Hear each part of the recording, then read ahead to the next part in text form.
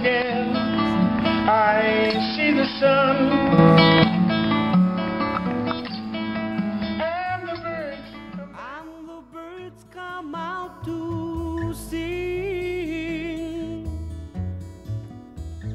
to tell the world she's home again. Is that the album was put on vinyl and uh, of course you know they don't make vinyl anymore. And so that's why it's an important important project. If we're going to put the album on CD, where people can get their hands on it.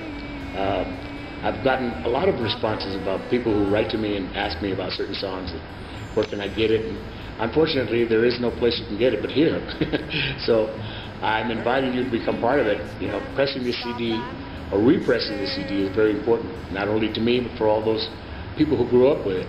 Uh, Mestizo meant be very special to people out there, and I'm hoping that this fundraiser, this new CD, this anniversary CD, will be able to bring back a piece of the 1970s and the struggles that we went through in those early years that brought people together through music. Well, when, when I was first approached on doing the album commercially, I was really thrown because uh, all my life I spent working with a theater company called Teatro Campesino, the farm workers theater. And my experience has always been on the stage performing for farm workers. And so doing this album for me, I mean, I had no idea of the kind of audience we were going to reach. I know what I felt in terms of the songs that I wrote. I saw myself as a singer-songwriter, and uh, I wrote my own songs and I, I played my own songs. And so you know, I hadn't realized that I was part of a generation that was really trying to express itself.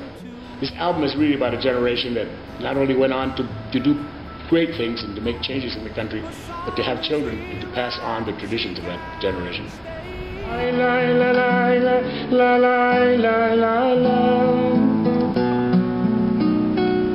Cuando amanezca la tarde vuelvo cansado a mi hogar.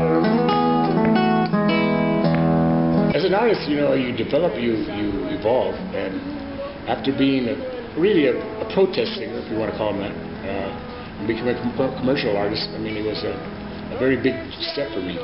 My music has always been number one in terms of my development as an artist. I'm an actor as well and a producer. Uh, produced La Bamba, La Film. Uh, and I've done many other different albums, uh, done some with different people. Uh, I did an album called Canciones de mi Padre with Linda Ronstadt, uh, which was appealing to me because it really appealed to the ethnic Me Mexican side of who I am. And it certainly it appealed to Linda's Mexican side. You know, For one, I didn't know who Linda Ronstadt was, was even anywhere even similar to an ethnic. So it was a real pleasure and a real surprise to find out that she was Latina and she was a pocho, just like me. So I, I have followed my career as a performer and really as a, songwriter, and it's, it's evolved. It's, it's gone from filmmaking to doing soundtracks, because uh, I like to record soundtracks for movies as well, uh, as well as acting. Uh, but music has always been my number one love, and I'll always continue to come back to it.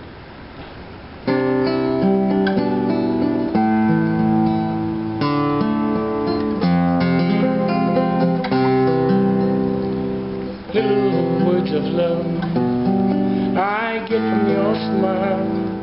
Little words is, is about my son, my firstborn, Emiliano. He's the one on the album cover. Uh, he was very special to me because he was my firstborn. But it was this little smile and the little things that he said, the little words that he would say to me that would fill me up inside, you know, and reminded me of what I was doing, what I was doing things for.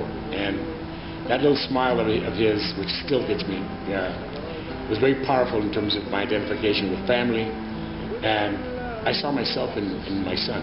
And so the little words of love are really the words that we exchange with one another. And so it's really a lullaby that I wrote for my boy, and I love him very much.